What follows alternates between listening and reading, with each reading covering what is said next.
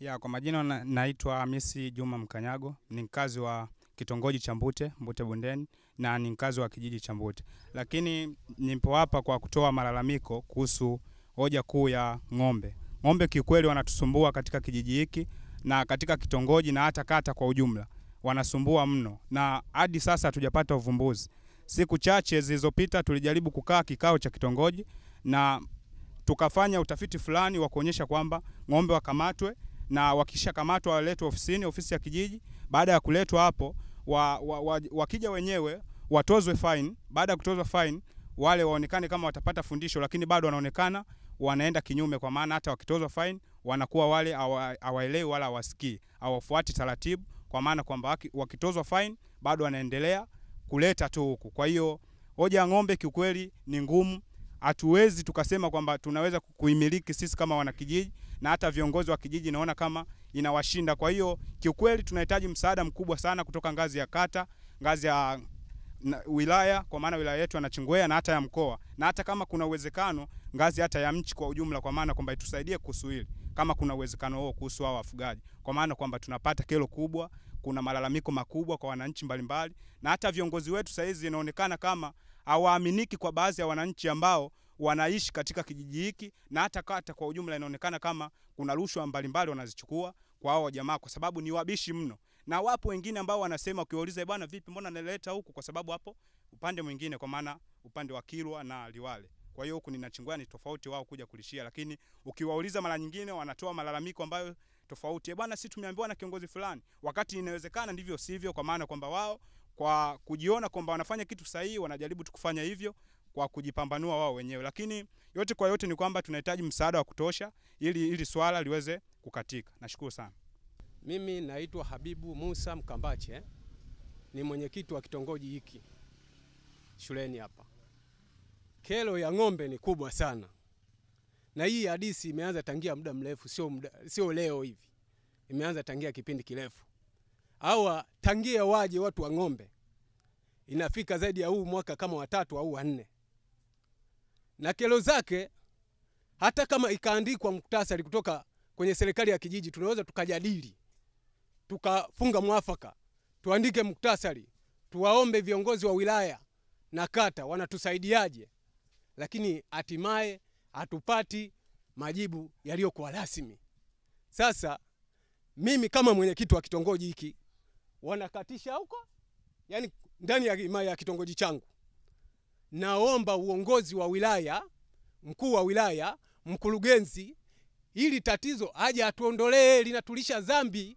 Watu wengine tunaonekana tunakula pesa. Mimi mkubwa wangu hayupo, mume wangu mpaka na baba mkwe, mimi nipo peke yangu. Ndio maana nimekuja mimi mwanamke. Kwa hiyo huko huko polini nako pia umaishi peke yako? Eh, ametoka tu lakini alikuwa yupo. Ameenda nyumbani Rufiji, kuna tatizo limetokea huko, ndio ameitwa na mzee, ameenda huko. Ameenda kwa kutumia mzee mwenyewe yupo Tunduru, hayupo huko. Hmm. Ndio maana nimekuja mimi. Kwa hiyo mmekubaliana nini? Mzee amesema tuache ng'ombe nne. Alafu mtakuja kuzichukua. Alafu atakuja mwenyewe sasa.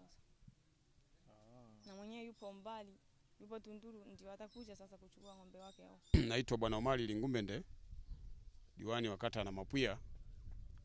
Tunazungumzia kero za hawa wanyama ng'ombe ambao wanasumbua kwenye maeneo yetu na wananchi wetu kwa ujumla, ila niwaombe wananchi pia waone jitihada ambazo tunazifanya kwenye ngazi ya kata.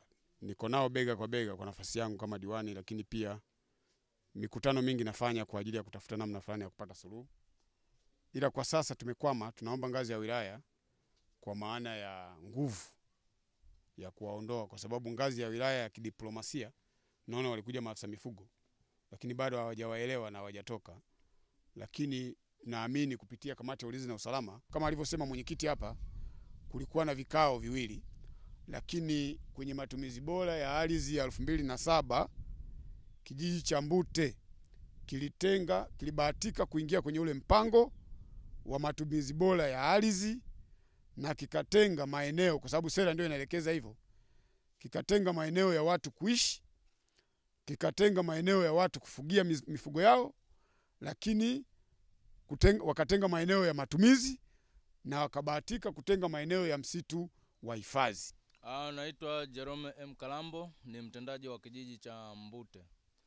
Ninakiri na kuthibitisha kweli hao wafugaji wapo na wamefika kwenye kijiji chetu tangia mwezi wa saba, na uharibifu ambao unajitokeza hapa kijijini ni mkubwa sana, kwa sababu wamefika kabla ya mbaazi hazijazaa. Wameanza kupulula mbaazi wakati zipo maua mpaka zimefikia kukauka, lakini kwa bahati nzuri tumepeleka taarifa halmashauri, na kwa bahati nzuri baada ya kupeleka taarifa walikuja maafisa mifugo wa wilaya, walikuja walitutembelea, na tuliwaelekeza kwamba tuwapeleke kule kwenye makambi, lakini wakatuelekeza kwamba inatakiwa tufanye takwimu za wakulima ambao wameathiriwa na mazao, na kweli tulipita na afisa kilimo, tulifanya hivyo na tulipeleka wilayani wakatuelekeza kwamba wakamwelekeza afisa kilimo kwamba watakuja kwa ajili ya ufuatiliaji wa tatizo hili. Subscribe kwa kubonyeza kitufe chekundu chini ya video hii na kisha bonyeza alama ya kengele ili uwe wa kwanza kupata kila kinachotokea muda wowote hapa hapa Mashujaa TV.